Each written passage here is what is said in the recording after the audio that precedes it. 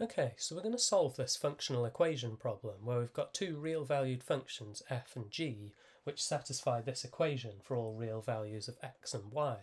But instead of trying to solve to find f or g themselves, we're trying to solve to find g of f of x plus y.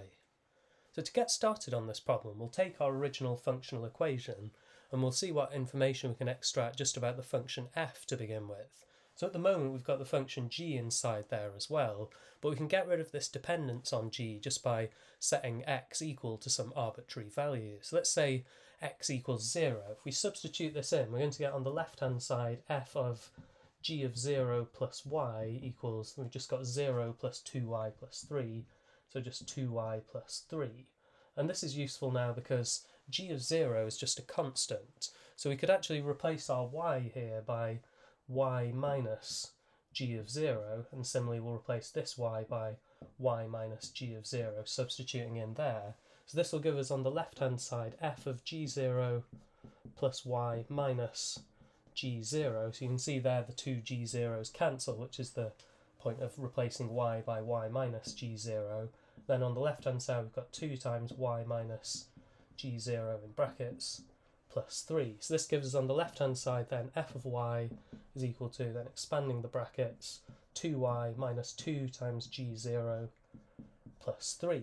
So this is really cool. We've managed to find almost what the function f is. So f of y is 2y plus or minus some constant.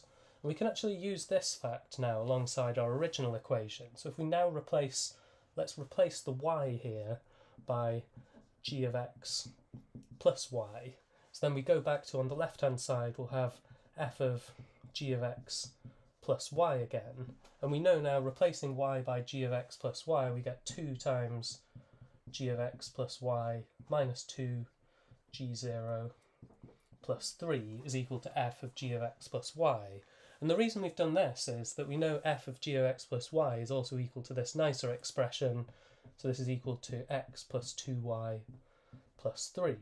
And we can see here now expanding the brackets, we get 2 times g of x plus 2y minus 2g0 plus 3. And this is really nice now because we've got 2y plus 3 and 2y plus 3 all cancel with each other. So then we can get g of x on its own here. So we need to add 2g0 to both sides. We get x plus 2 times g0. Then just dividing through by 2 then we get this is going to be equal to g of x. So we've now actually managed to find a nice expression for g of x there up to this constant term. So g of x is going to be x over 2 plus or minus some constant, and f of y is 2y, again plus or minus some constant. And now remember that we're trying to actually find g of f of x plus y to solve the problem. So at this point we could replace this x here by f of x plus y, and we'd have to replace this x as well. So we can just substitute in now f of x plus y in place of our x.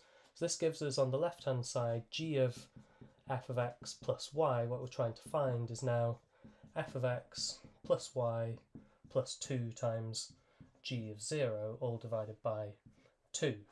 And now we can replace this f of x using our known expression for f of y there. So just to make this really clear, if we replace y by x here, we're going to get f of x equals 2x minus 2 times g of 0 plus 3. So then we can substitute this in in place of this f of x here, and we're going to get 2x minus 2 g of 0 plus 3. Then we've still got this plus y and plus 2 times g of 0, and this is all still being divided through by 2. And this is really nice because at this point the negative 2g0 and the positive 2g0 cancel out. So we're left with then a unique answer to this problem. We have 2x, we'll write plus y plus 3, just putting them in that order, all divided by 2.